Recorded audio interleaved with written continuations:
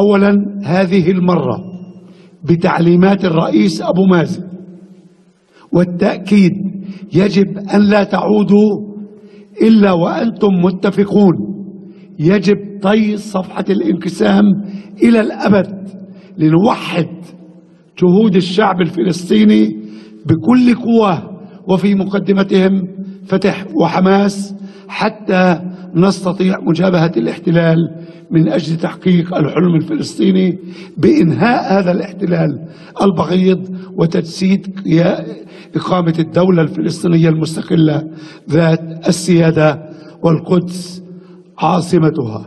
والثقة أننا نستطيع إن شاء الله أن نخدم شعبنا وأمتنا. وترتيبات أمنية ستقوم بها الشرعية السلطة الشرعية الفلسطينية بنشر حرس الرئاسة على امتداد الحدود المصرية. لذلك ربما لا يكون فورا ولكن بالنسبة للمعابر الأخرى على الفور. وفي موعد أقصاه واحد إحداش كل شيء تم تحديد تواريخ له جداول زمنية. خلاص هيك أحسن.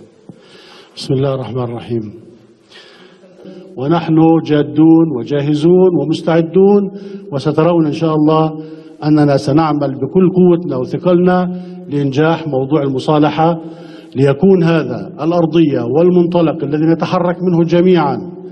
نحو مواجهة المشروع الصهيوني الذي يريد أن يطمس ويقفز عن حقوق شعبنا ونحقق إن شاء الله آمال شعبنا وتطلعاته بإقامة دولته الفلسطينية المستقلة كاملة السيادة وعاصمتها القدس الشريف. بارك الله فيكم.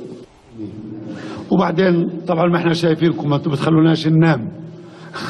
وإحنا في حركة حماس عازمين وجادين وصادقين في هذه المرة وفي كل مرة في إنهاء الانقسام.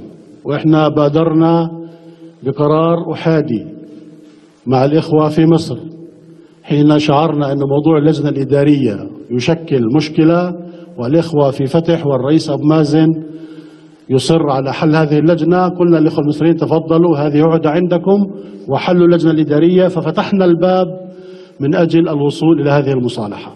منذ عام 2011 تقريبا ومصر تسعى للمصالحة ما بين نجحت مصر بالفعل. كانت هناك إشادة من الرئيس الفلسطيني محمود عباس بما آه، تم الاتفاق عليه.